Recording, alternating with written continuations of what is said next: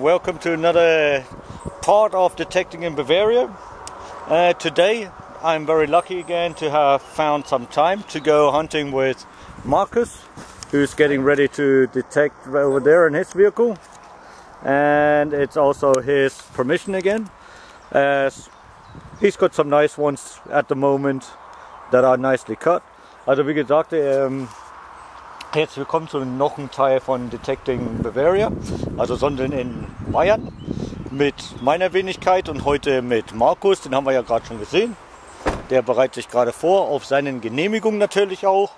Ähm, ja, und schauen wir mal.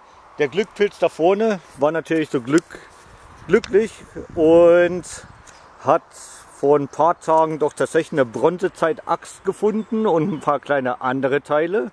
Und die könnt ihr auch bei der Schatzsucher, wenn ihr das eingibt, könnt ihr das natürlich dann auch sehen, wie es abgibt beim äh, Denkmalamt, Bodendenkmalamt äh, in Regensburg. And what I've just said also was the, the guy I'm detecting today with, Marcus, you've already seen him on some of my videos.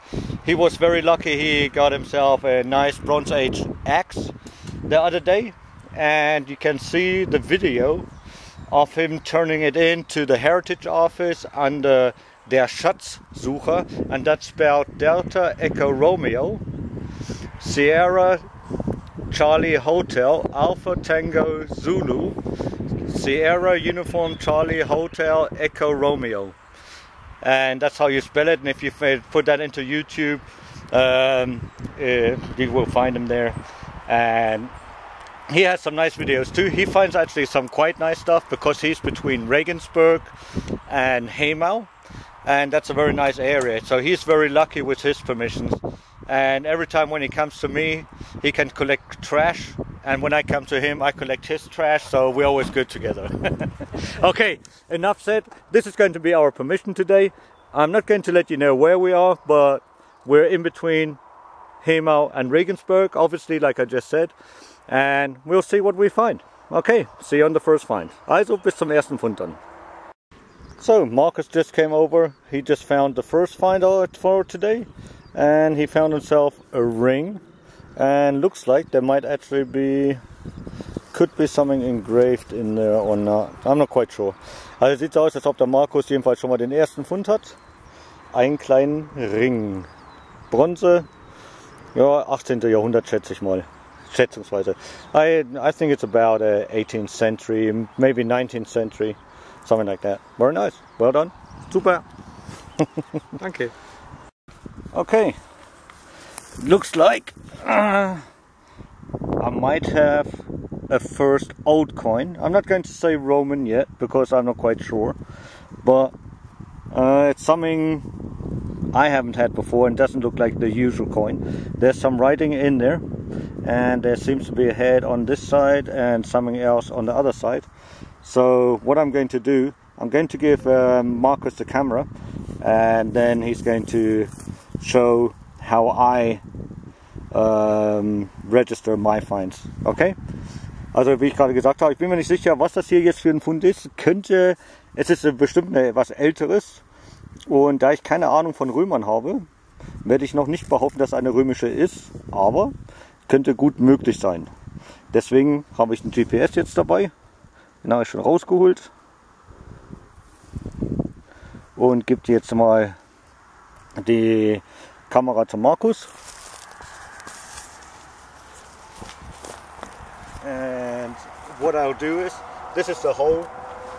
And right now I'm waiting for the GPS to actually go a little bit closer than 100 meters. Right now it's showing a difference from plus minus, uh, 71 meters and it's going down now. I'm not going to show you the grid, but you can see we're at what height we are and roughly the how good it is uh, with plus minus. At the moment we're plus minus 65 so I'm going to wait a little while and then what I'll do is I'll write it down on my piece of paper and one always has plenty of bags to, to be to actually put nice finds in. Also wie, man, wie ich gesagt habe, ich muss jetzt warten, dass die Genauigkeit, der braucht noch Satelliten. Und was ich jetzt mache, ist natürlich, ich nehme den Fund, kommt in der Tüte, ich mache ihn nicht sauber. I'm not cleaning the find, that's most important, because I don't know what it is yet, and I don't have water with me or anything like that. Then I take my piece of paper,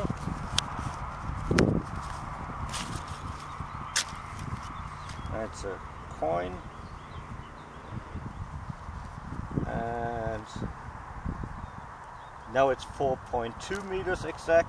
Also die Genauigkeit die liegt jetzt bei 4, plus minus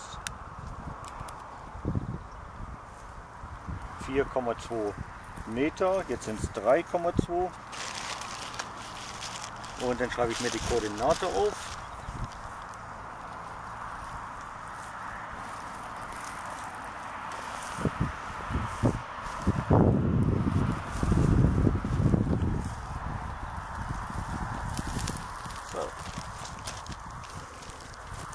and that goes into the bag and there we have it. So, jetzt haben wir es in der Tüte natürlich dann reingetan, mit der Koordinate, mit Datum und so weiter und dann ist das kein Problem. Dann kann man den ausmachen und das war's. Und dann kann man es einsetzen und dann kann man das abgeben und dann können die das beim Bodendenkmalschutzamt nachprüfen. So. Super. Genau, der rote Knopf Geh ist zum Ausmachen. Okay. Der rote Knopf vor dir.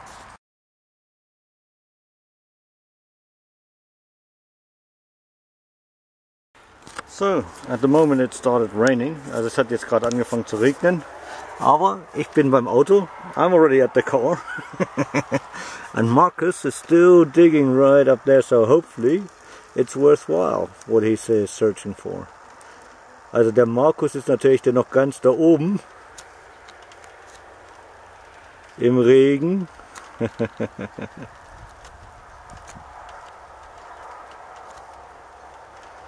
But he's not giving up. He's going to come all the way down, detecting in the rain. Also er gibt auch nicht auf. Der wird ganz in den Regen noch runterkommen. Okay. We'll see. As soon as it stops, we're going. I'm going to carry on. But I didn't bring any wet gear with us, so they said maybe thunderstorms today, and in the thunderstorms I normally I don't detect in thunderstorms. Period. Also ein Gewitter tue ich sowieso nicht äh, sondeln, das ist viel zu gefährlich und es sollte heute gewittern eigentlich auch irgendwann. Und deswegen bleibe ich erstmal weg. Aber der Markus kommt jetzt noch runter und dann schauen wir mal. Okay. We'll see you if we carry on detecting or if the weather improves. If not, see you another time round. And we'll see, right? See what happens. Okay. Talk to you later. Also, bis irgendwann dann. Tschüss. So, we've moved away from the rain a little bit. You can see the rain in the background maybe. I know you can see the rain showers right there. So hopefully there's no rain coming from the back. But it all looks pretty dark around us. Also der Regen ist jetzt da hinten. Wir sind jetzt ein bisschen aus dem Regen rausgefahren, wie man da hinten sieht, die Wolken. Das regnet da gerade so runter. Und hier ist noch trocken. Der Wind kommt aber von hinter mir. Also hoffe ich, dass nichts momentan so schnell kommt zu uns, dass wir hier die kleine Wiese mal schnell machen können. So hopefully we can get this at least. And it's only very, very small um, permission. So we should be able to do this completely, finish it. It's very small. It's maybe, um, let's see, one, two, three, yeah, about 3,000 square meters, so no, not a lot of 3,000 square yards, what's roughly the same. Also ungefähr 3000 Quadratmeter hier diese Wiese, schätzungsweise, vielleicht ein bisschen mehr, jedenfalls nicht weniger und dann schauen wir mal. Okay, very nice area and yeah, we'll see what we can find. And also a little other words, word in the middle of um, this detecting. I would like to thank all the people that wished me good luck with my future job and anything else. Thank you very much indeed. I appreciate it. And I'm sure everything will get better or as it goes on. I mean, life carries on and everybody has to deal with different situations in life anyway. So thank you very much indeed for all your um, support. I appreciate it and don't worry about me. I'm a fellow, I'm like uh, weeds. You can't kill weed. You know, so there you go.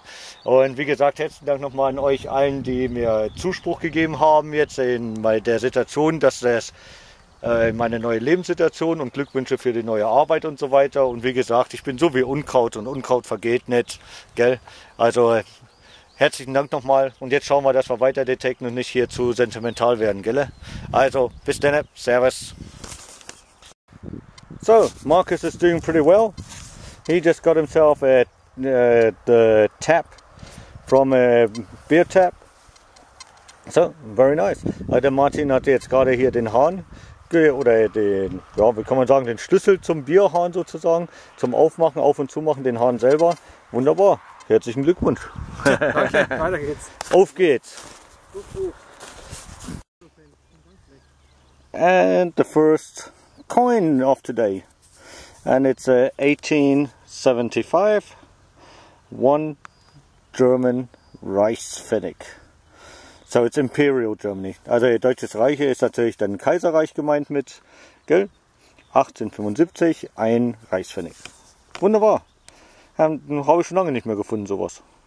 It's been quite a while since I found a Reichspfennig. So that's pretty nice. Nice day so far. Let's carry on. Also, lass uns weitermachen. So, next find is a little bronze piece. Not quite sure what it is. Also das nächste Teil ist eine kleine Bronzeschale, aber nicht ganz sicher was es ist. Um, maybe a little bit from a white or maybe a stud from the old Bulldogs. But I'm not quite sure. I have to clean it up at home. Aber ich bin mir nicht sicher was es ist. Müsste ich erstmal zu Hause sauber machen. Okay? Okay. Auf zum nächsten. Off to the next. Uhuhu. And just a piece of copper. Und einfach nur ein Stück Kupfer. But no, no clue what from. Just a piece of trash, I suppose. Nur ein Stück Müll nehme ich mal an. Halt Kupfermüll. Okay. Auf zum nächsten. Off to the next. And another copper thing. Und noch ein Kupferteil. Was auch immer es sein mag. so, next is the insert of a lighter and a fuel lighter. Also, uh, um, yeah, fuel. Uh, most likely a very cheap one. Uh, most likely Chinese or something like that. But never know. Gotta clean it up. Also wie gesagt, das hier ist ein Teil von ein äh, Feuerzeug und zwar das Teil, wo man reinschiebt ähm, für ein Benzinfeuerzeug, Stromfeuerzeug. Aber bestimmt kein Zippo, sondern irgendwas billiges. There's some writing actually on the bottom. Da ist sogar etwas geschrieben unten drunter.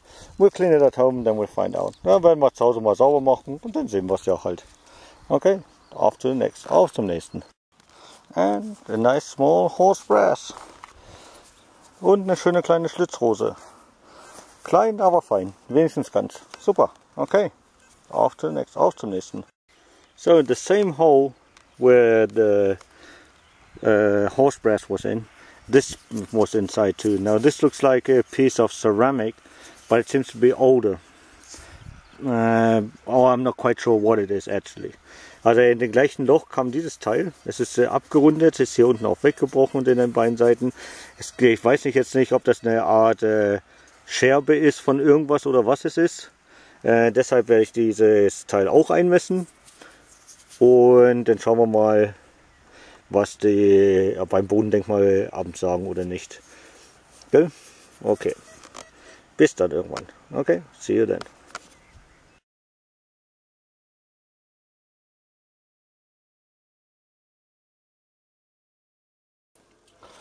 So, welcome to the roundup. Just had a good meal with Marcus, and I'm now home. These are my finds, and we had that ceramic piece right there. Doesn't look too bad. Also herzlich willkommen jetzt zur Zusammenfassung. Hatte dieses, ja, sieht da aus wie eine Scherbe Teil. glänzt ganz schön, aber ich bin mir nicht ganz sicher, was das jetzt ist oder wie alt das ist. Und deswegen habt ihr ja gesehen, habe ich, äh, oder habt ihr nicht gesehen, der Markus hat das gefilmt, wie ich dann die Daten aufgenommen habe. Uh, Marcus filmed actually how I uh, took the GPS coordinates for this piece right there. Then also we had that nice coin or whatever it is, medallion. That's the one side. Not a lot to see. And the second side, also da haben wir jetzt die erste Seite. Also eine Seite davon. Kann man natürlich nicht allzu viel erkennen, außer dass da ein Kopf ist. Also, ob es römisch ist oder nicht, das weiß ich nicht. So I, I'm not sure if it's Roman or Greek or whatever. So no clue. And then also we had the lighter piece. Dann hatten wir ja noch das Feuerzeugteil.